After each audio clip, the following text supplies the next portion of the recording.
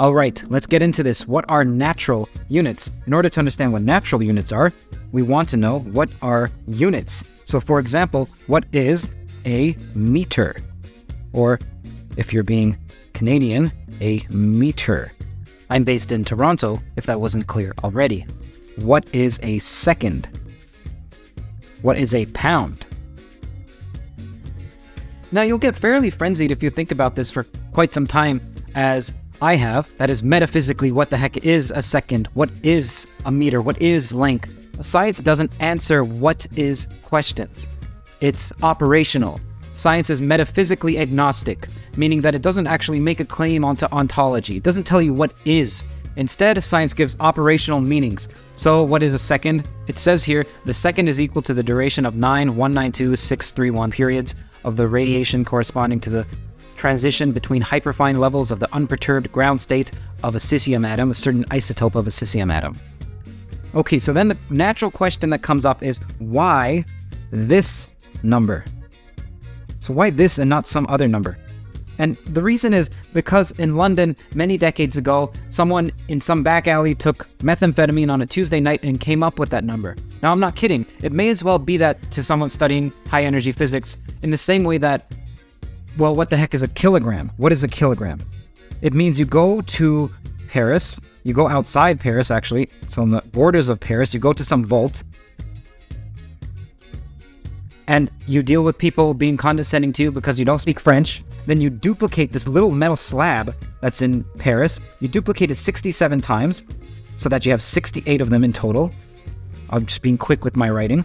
68 of them is in total. And then you measure yourself on a scale, and these two numbers will coincide. That's what it means. It's an operational definition. Now, physicists like to use units that appear in nature. So, units that appear, and those we call natural units there's some controversy with what's considered natural because when someone comes to you with a some dish and they say this is a natural dish and that's unnatural. Well, what do you mean that, that those Doritos that are unnatural? Did they come from outside this universe from some void? Because isn't everything in this universe natural? Aren't we a product of nature and so what we create is natural?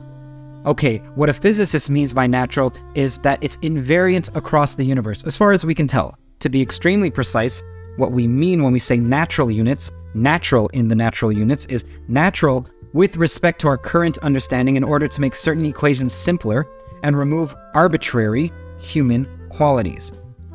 Why do I say arbitrary human qualities and not just human qualities? Well, in some sense, even an electron is a human construct in the sense that it's there because it nature doesn't parse itself out into these elements. I mean, you can say elementary. Elementary seems to be an objective quality because of the way that we define what an elementary particle is. It's an irreducible representation of something. So the fact that it's irreducible means if it could be reduced in this block matrix form, then we can just decompose it and we'd say those elements are elementary. But the reason why we set aside some special canonical place for the electron is because it's useful for us. It makes our models easier to understand, simpler Occam's razor, etc. There's plenty of philosophy that undergirds natural. This is not usually explained, and you'll be led astray if you don't understand that point.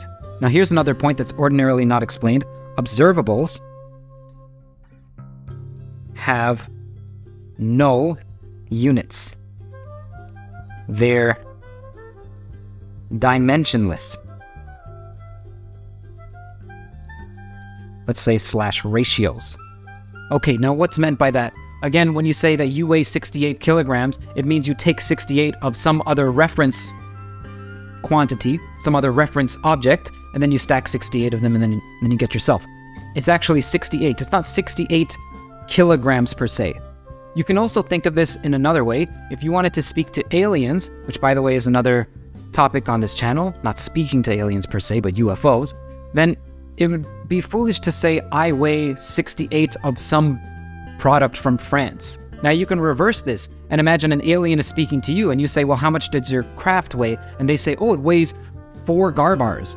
And then you're like, what the heck is a garbar? Then they say, well, that's how much liquid we release from our bourbons every two farkles. It doesn't provide much information. So instead we do what you see colloquially, which is C equals H bar equals one.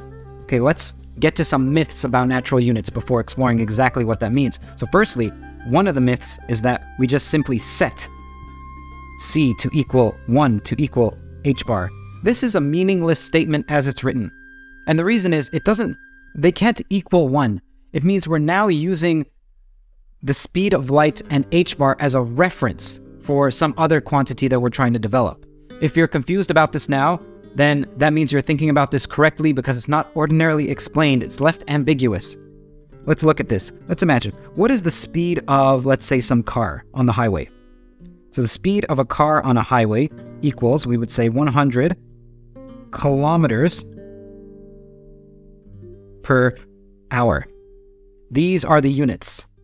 And that's the magnitude with respect to those units. So if I wanted to say, what is the speed? Sorry, that's already speed. What is the speed of light?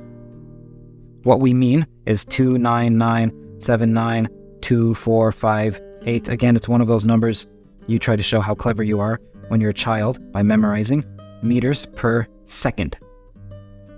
Now look, this is actually what C is. C refers to all of this.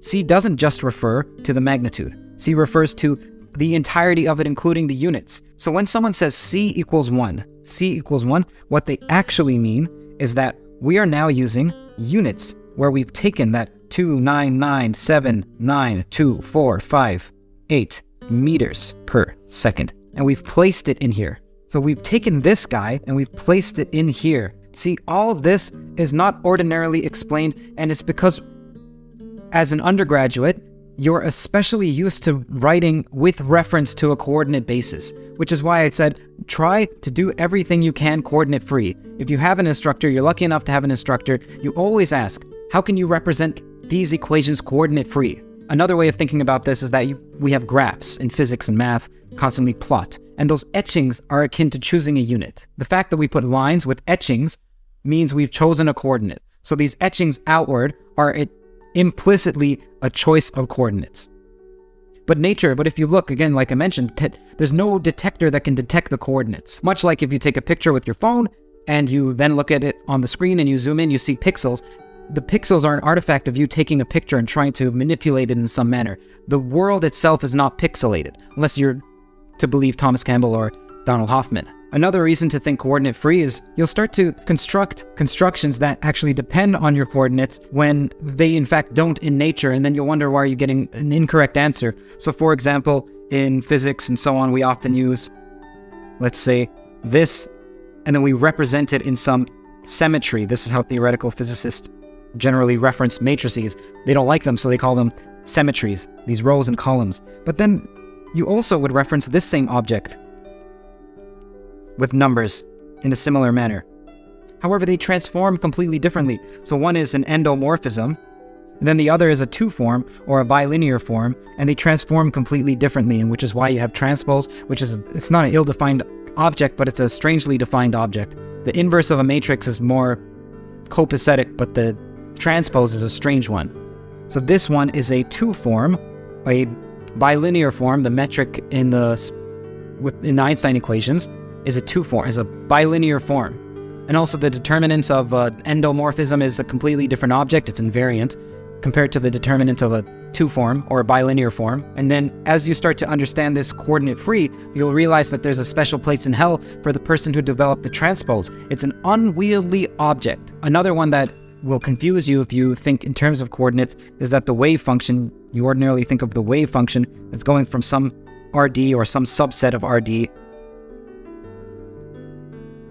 to to the complex numbers, but actually this guy is a section on a C line bundle. And you need to understand bundles in order to understand it coordinate free so that you can do not only polar coordinates and you wonder why the heck does the derivative change? Well, that makes sense when you understand it in terms of a principal bundle and then the associated bundle, but also in terms of no longer staying in RD. What if you want to move to a curved space? For quantum mechanics. What if you want to do quantum mechanics on a curved space?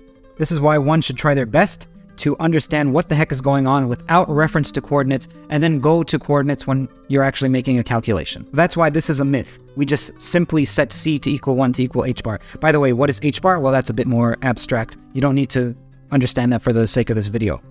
But this is an ill-defined equation. There's actually a caveat here that will come into play later. Another way of thinking about it is imagine you have one USD, one US dollar. Sometimes you would say it equals 127 yen. It doesn't actually equal 127 yen, otherwise, when you have a US dollar, it would just be 127 yen. What it means is that there's something called value, or some monetary equivalent. That's another way of thinking about it conversion. What it means is that you go here with some mapping, let's say m, and then here with some mapping that's, that's called, let's say, m prime. What it means is that you do, let's say, m prime inverse. See, we have to make all these constructions now, and then that's after you've already done m. So you've gone from here, and then you go back up there. They're not the same. So another way of thinking about this is imagine you want to change lengths. Instead of using meters, because you think meters are strange for some reason, you want to measure everyone in terms of Lady Gaga. So you have Lady Gaga here, which I'm going to call LG. So then let's say we want to measure someone else. Let's say some let's say Goku. So what is Goku? Goku equals maybe one and a half Lady Gagas in length. So you take half of Lady Gaga and you stack that again on Lady Gaga and you get a Goku in terms of length. How about Tony Robbins? Well, that's, let's say, two Lady Gagas. Now what we're doing here is we're saying I'm going to make all my future length measurements in terms of Lady Gaga, for whatever reason. In the same way that, generally speaking, prices can be made in reference to the US dollar, and then you do some conversion to find out its equivalent monetary value in some other currency.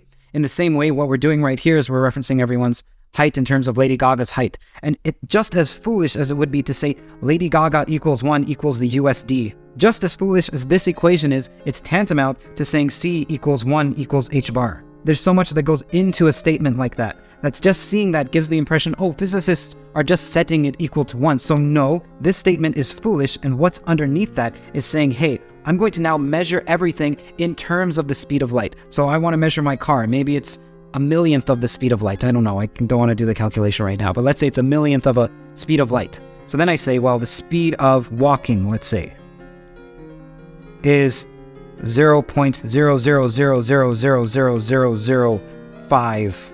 I'm making this up. Of these speed of light units. That's what it means. Okay, so this is all, including, by the way, this right here. This is all foolish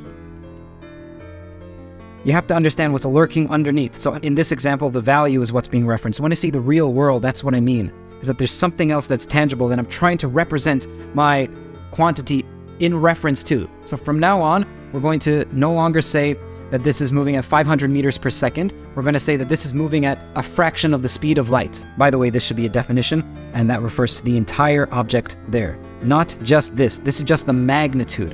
And that's where this is misleading because it's just showing you the magnitude. How the heck can C equal this in the same way? How the heck can Lady Gaga equal the US equals 1? That is myth number one. Now, myth number two is that the advantage Welcome to the Theories of Everything podcast. You just watched a clip from a much larger two hour video lesson, including what to do with these natural units, such as how to calculate the radius of a black hole in five seconds, no joke, as well as the vacuum energy of the universe, as well as the pressure inside a neutron star, some facts about extra dimensions and quantum gravity. To watch it, click here. And also, this video was sponsored by Brilliant. Brilliant is a website where you can go to learn math, science, and engineering through these bite sized interactive learning experiences. I keep saying this on the show, and I mean it that at some point I would like to speak to Chiara Marletto or David Deutsch on constructor theory, and that's heavily based in information theory. And thus, as preparation for that, I went through Brilliant's course on information theory and random variables. And from there, I was able to finally see why the formula for entropy is the way that it is. It's handed to you on high from above, and it looks baroque and highly manufactured, but after going through their course, you can see that it's an extremely organic choice for a formula. Visit the link brilliant.org slash toe to get 20% off your annual subscription. I personally recommend that you don't stop before four lessons. Keep going, even if you feel like you're not making progress on the first, second, or third. Go to four, and you'll be extremely surprised that you can now grok what you previously had a difficult time grokking. Thank you.